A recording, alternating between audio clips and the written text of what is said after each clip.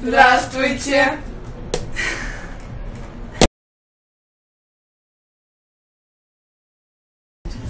А, Больше всего в Олимпийской деревне нам нравятся приветливые волонтеры, которых полмиллиона. Э, Примерно это составляет половину нашей страны.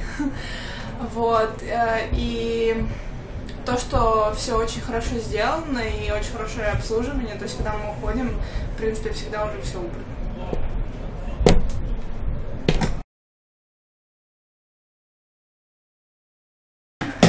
Эй, Эй, Эй, Эй,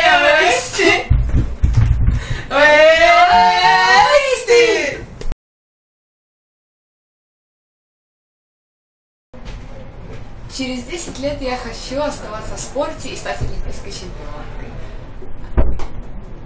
А, через 10 лет я надеюсь, что я буду играть где-нибудь за границей, а, буду иметь как минимум два высших образования и быть просто хорошим человеком.